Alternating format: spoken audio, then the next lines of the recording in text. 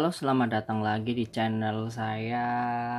Lagi-lagi saya akan unboxing dari video ini, yaitu salah satu ikan yang kecil dan imut, yaitu apa namanya? Lihat, ikannya udah lumayan lincah, yaitu namanya ikan lemon ciclit. Uh, mungkin karena warnanya warna kuning cerah jadi seperti lemon jadi namanya dia itu lemon ciclit ciclitnya sih aku kurang begitu paham itu bahasa dari mana. Itu kalau nggak salah itu bahasa Afrika. Soalnya ikan ini itu asalnya itu dari perairan tawar yaitu dari Afrika Timur. Kalau khususnya daerah mana aku kurang begitu paham. Yang jelas ini ikan air tawar dan berasal dari Afrika Timur mungkin kata ciclit itu juga dari kat, uh, bahasa Afrika. Mungkin gitu. Kalau untuk lemonnya ya mungkin itu global gitu. Karena kita tahu warnanya kuning cerah seperti ini. Kuning cerah. Ciri-ciri ikan lemon ciclit jenis lemon ciclit ini itu di sirip punggungnya itu ada warna hitam pekat dan di bagian sirip lainnya kecuali ekor. Kalau ekor itu tetap kuning full. Kalau bagian yang sirip-sirip bawah itu ada warna hitam tapi transparan. Tapi ini ikan saya ini sirip atasnya itu warna hitamnya pudar. Itu karena apa? Yaitu pertama faktor yang bisa mempengaruhi ikan ini. Warnanya bisa memudar hitamnya.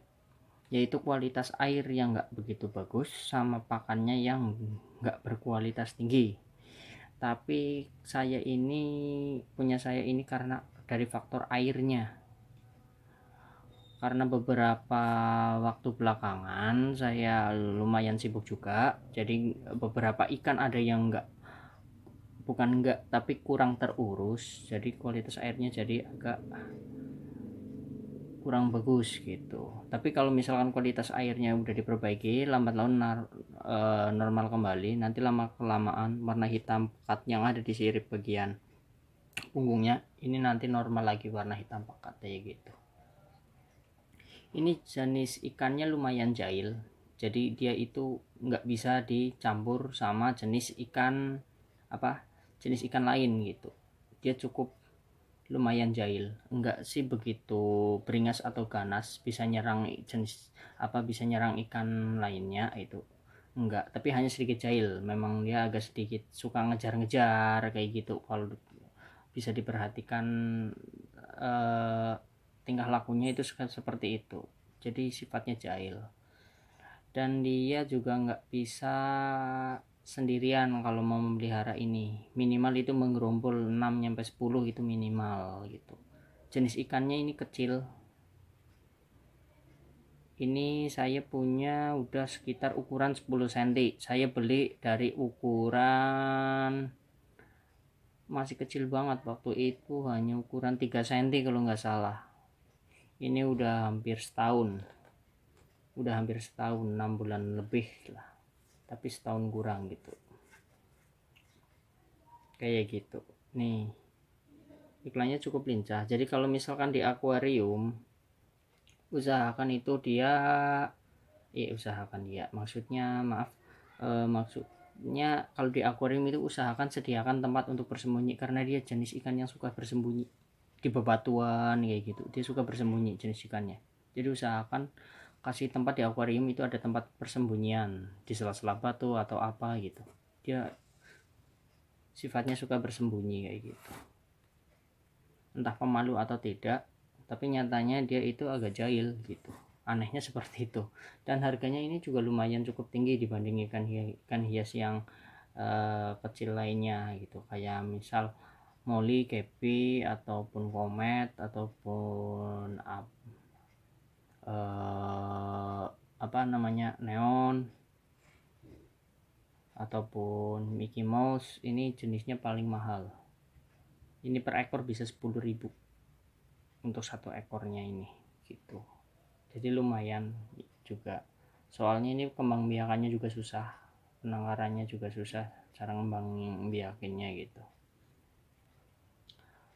lihat dia jenis ikan yang nggak bisa tenang.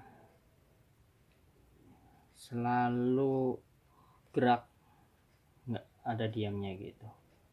Dia hanya diam kalau ada tempat persembunyian. Dia pasti bersembunyi. Kebetulan saya mau unboxing saya taruh di tempat kaca kecil kayak gini nggak ada tempat persembunyian nggak ada tempat persembunyian jadi dia nggak mau diam terus kayak gini. Yang penting itu kualitas air sama pakan itu harus nomor satu kalau untuk ikan ini. Biar warnanya itu lebih cerah terus uh, dengan ciri khasnya yang disirip uh, punggungnya itu kehitaman pekat di ujung kehitaman apa di ujung siripnya itu itu warnanya hitam pekat. Itu nomor satu pokoknya harus air dan keduanya itu pakannya. Saya cukup pakai pakan pelet aja yang penting berkualitas tinggi kayak gitu sebenarnya dia juga punya motif bintik-bintik putih di bagian sirip sama bagian kepala pinggirnya. Kayak gitu. Tapi nggak begitu kelihatan.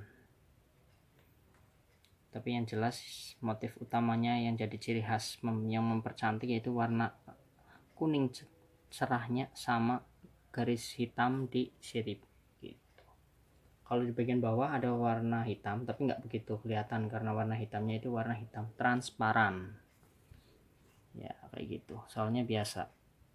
Ikan asal dari luar negeri. Apalagi di Afrika Timur ini.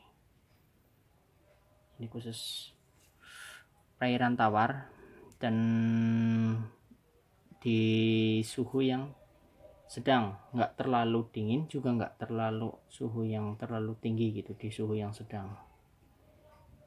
Ini ini juga jenis ikan yang lumayan kebal terhadap penyakit. Ini lumayan kebal bandel istilahnya.